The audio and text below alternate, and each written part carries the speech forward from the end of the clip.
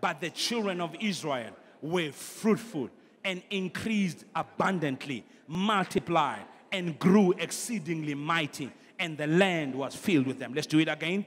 But the children of Israel were fruitful and increased abundantly, multiplied and grew exceedingly mighty and the land was filled with them. Number, number three, I see children of change. And the children of change were fruitful, increased abundantly, multiplied, and grew exceedingly mighty, and the land was filled with them. Give God praise, somebody.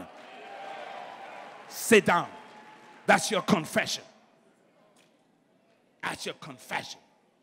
I speak over you. I said, I speak it over you.